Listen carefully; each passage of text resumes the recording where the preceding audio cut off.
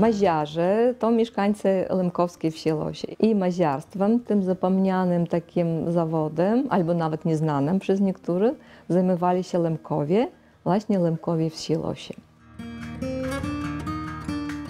Maziarze zajmowali się pierwotnie produkcją maziu, smary, e, e, dziegciu, a potem przestawili się na czysty handel. I kiedy mówimy o zawodzie maziarzy, jak o takiej grupie zawodowej, raczej mówimy o handlarzach. To jest oni zajmowali się produkcją mazi z różnych e, tutaj surowców, które dawała przyroda dookoła. Mazi drewnej i mazi ropnej. To jest ropa i drewno. Мазь служила, może wie takie przysłowie, kto nie smaruje, ten nie jedzie. Przede wszystkim do smarowania. Do smarowania osi drewnianych wozów. Bo woz to był jedynym takim środkiem transportu w tych czasach i nawet najbiedniejsze gospodarki musieli mieć coś, do, jakiś wóz i właśnie ta maź, ten smar służył do smarowania. Pierwotnie, to jest takie najstarsze te maziarze, właśnie handlowali maziami. Maziarze, Losianie byli, ja myślę, nie jedyni tutaj w Polsce, a nawet jedyni w całym świecie, w Europie, które na taką skalę, dużą skalę zajmowali się handlem tymi produktami. To jest bardzo ciekawa historia, która muszę powiedzieć trochę może tak szczegółowo, bo to nie, nie, jest tak, nie stało się w jeden moment, że oni stali maziarzami, to po prostu tutaj oni pierwotnie produkowali sami takie prymitywne smary, mazie, a potem już jak zaczął się przemysł, roz, roz, roz, rozwijał się przemysł naftowy tutaj na tych terenach naszych gorlickich, to oni po prostu, jakby można powiedzieć, wykorzystali ten moment historyczny, żeby otworzyć jakby ten biznes swój rozkręcić. Oni byli Lemkowie, ale Losianie liczą siebie taką elitą lemkowską. Nawet e, mówią, że wiodą swój rodowód od Szwedów, od potopu szwedzkiego, żeby trochę takie inne, inne Lemkowie, bo, ale po prostu oni byli najbogatsi tutaj w okolicy. Nie będziemy oszukiwać że lemkowskie tutaj wsi byli biedni. Tutaj bardzo ciężkie tereny do uprawiania rolnictwa. I każda wieś prawie zajmowała się czymś innym, jakimś zawodem, rzemioslem, żeby przekarmić rodziny swoje, przekarmić i przeżyć. Losianie postawili na handel i bardzo dobrze z tego wyszli po prostu. To jest taki bogaczy byli tutaj. Lemkowie po pierwsze bardzo przywiązani do, do swojej ojczyzny, do swoich terenów. No, jednak nie będziemy oszukiwać, że to byli chłopi. Tak, to był wiejski, wiejski handel. No, a nasz skansen znajduje się nie w domie najbogatszego maziarza. Jeżeli my przyjdziemy się po Losiu, to możemy zobaczyć domy najbogatszych maziarzy. To byli murowane, piętrowe kamienice. Oni inaczej ubierались tutaj, inaczej wyżywiались. Rodziny byli układy troszkę inne, bo zajmowali się handlem e, chłopy, to jest faceci. Oni jeździli, e, prawie pół roku ich nie było w domu, no a czasami gospodarką zajmowała się kobieta. Условnie biedni, to jest oni najbiedniejsi maziarze byli bogaci niż gdzieś tam e, mieszkańcy okolicznych wsi, można tak powiedzieć. Bo to jest początkowe. Jeśli ty chcesz rozkręcić biznes, to możesz handlować e, jak no, okrążyć, możesz w spółkę z kimś pieniędzy to zainwestować. To różne bywa, no ale wiadomo, że nie każdego nie pozwala może takiej możliwości, ale taka już powiedzieć takie można rodziny, które przekazywali ten biznes, to był biznes, który był dziedziczony. Te trasy byli dziedziczone, te majątki byli dziedziczone. No wiadomo, że kilka rodzin byli najbogatsze, które już hurtowo handlowali. Na przykład w okresie międzywojennym mieli bazy w dużych miastach, w Warszawie, w Łodzi, gdzie dostarczali już koleją ten towar z, go, z Gorlic i okolic, a już detalicznie handlowali na miejscu tam już.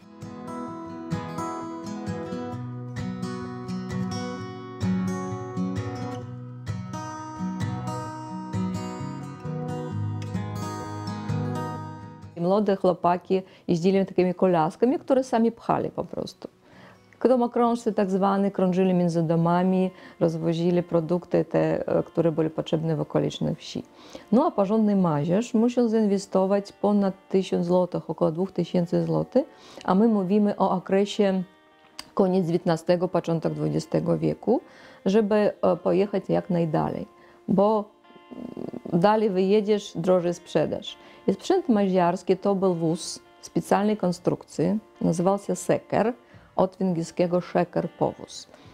Musiał dokupić, no wiadomo, uprząż dla koni. Koni musiały być dwa konie, takie mocne, żeby ciągnęli ten wóz daleko.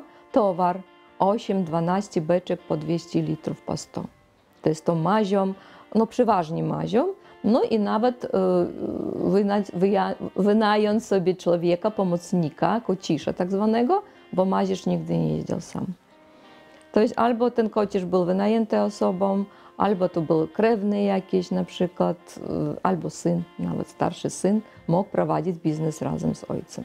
I takim wozem po, po w marcu, jak schodził już śnieg, oni wyruszali i każdy miał swoją trasę. To jest oni bardzo mieli dobrą logistykę zorganizowaną, żeby nie wchodzić sobie w drogę. Każdy jeździł swoją trasą do Warszawy, do Rygi, do Łodzi, no tam do, do Niemiec nie dojeżdżali, bo były granice już innych państw, ale dużo jeździli na Węgry, do Słowacji, nawet do Słowenii niektórzy docierali. Do Rosji też jeździli. Rozkwit tego biznesu przypada się na okres międzywojenny. To jest najlepsze lata dla maziarzy. Tylko jeszcze nie powiedziała o tym, że raczej oni już handlowali na taką skalę nie towarami, maziami, które robili domowym sposobem, a towarami kupionymi. I tutaj taka ważna historyczna jakby wątek to powstanie w Gorlicach rafinerii. Rafinerii to jest boom, boom ten naftowy, tutaj, który na tych ziemiach był w okresie międzywojennym, to po prostu dał możliwość te towary już kupować gotowe. To ma, mazi, smary, już były oleje różne techniczne, to wody. I oni kupowali hurtowo w rafineriach, w dystylarniach, a sprzedawali detalicznie. I ta różnica między hurtą, hurtą i detaliczną rozprzedażą dawała zyski.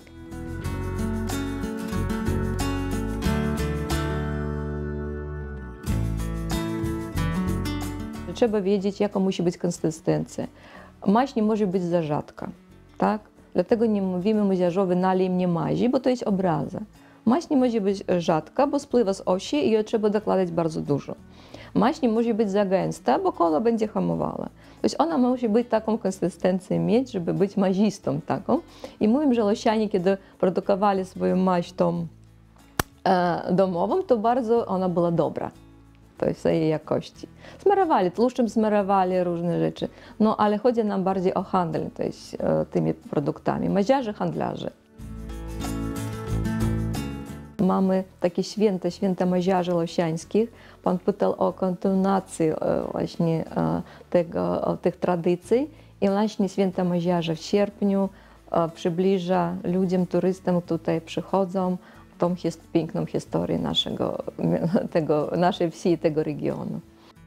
Skansen, zagroda maziarska w Losiu, mieści się on w budynkach, jak mówiła, takiego zamożnego losianina, nie najbogatszego maziarza, i mieści się w budynkach autentycznych. To budynki nieprzenoszone. To jest normalne gospodarstwo, które stało tutaj od końca XIX, początku XX wieku. Zagroda ta jest wielobudynkowa. Zwykle na wsiach, w górach budowali zagrody jednobudynkowe gdzie pod jednym dachem mieściło się wszystko. Ludzie, budynki gospodarcze. W taki sposób oni oszczędzali ciepło, na przykład, tak, materiały. A na naszej zagrodzie jest dom mieszkalny Chyża, tak nazywa się chalupa po lemkowski, Chyża, też tradycyjnego, tradycyjnego układu i budynki gospodarcze otaczają. Piękny zabytkowy spichlerz, sypanec tak zwany, a on mieści się na wysokiej podmurówce, to jest na dole jeszcze piwnica, to jest chłodnia, nie jest wykopana osobno, a połączona z górną częścią, gdzie przechowaliśmy produkty. I stodola też podzielona na kilka części. Boisko, tam gdzie możemy zobaczyć wóz i garaż, wazownię, gdzie środek transportu. W środku znajduje się nieduża stajenka zaboru, bo raczej Losianie nie byli nastawieni na rolnictwo, na takie na hodowanie bydła czy na sprzedaż coś. Oni trzymali tylko koni i zwierzątka na swoje potrzeby tylko. a stawiali bardziej na handel. Tutaj można zobaczyć piękną historię przede wszystkim. Mamy dużo informacji właśnie o tym zawodzie, dużo zdjęć archiwalnych. Można zobaczyć oryginalny wóz pana Dmitra Karela, który jeździł jeszcze w latach 70. Tak, on jeszcze handlował. Tak, tak, tak. E, Już na kołach gumowych, nie na drewnianych, e, bo maziarze byli bardzo dumni ze swojego zawodu. I w czasie wojny II światowej handlowali. Kto nie został wysiedlony, jeszcze handlowali właśnie do lat 70. Ale to już e, wiadomo, że byli pojedyncze osoby. Możemy zobaczyć seker składaniec ze starych i nowych części i eksponaty na wystawie, ma- maźniczki, krosna, jak ja mówili, kolaska domokrążca, kuferki różne, podróżne, zdjęcia, no, mapy, bardzo ciekawe mapy, mapy podróży e, e, maziarzy, dokumenty, legitymacje, bo to był biznes legalny, oni z tego żyli po prostu.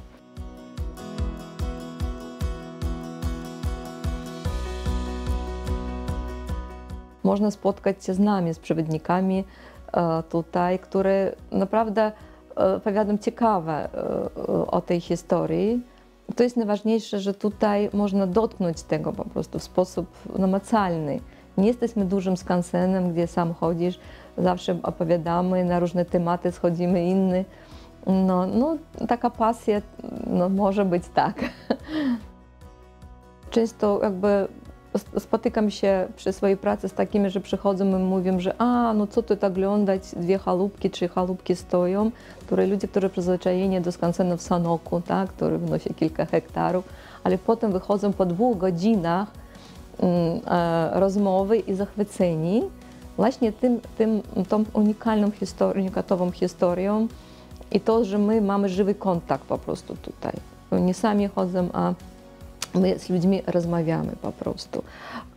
Tak, oczywiście jest pacjenci, którzy specjalnie przyjeżdżają, którzy dowiedzieli się z internetu czy książek, że istnieje taki, istniał taki zawód, takie zagrody i przyjeżdżają z Gdańska, z Łodzi dużo, przyjeżdżają ludzie zobaczyć nasz skansen po prostu. Odbiór jest jak najbardziej, najbardziej e, taki pozytywny. No wiadomo, że dla dzieci, dla dzieci temat jest może taki, może skomplikowany, ale zawsze można pokazać, jak ludzie mieszkali, czym zajmowali się. Zawsze można przymierzyć mm, tą sytuację na siebie. Jak by ja poradził sobie w tych warunkach? Bez telefonu, bez internetu albo mm, bez prądu nawet.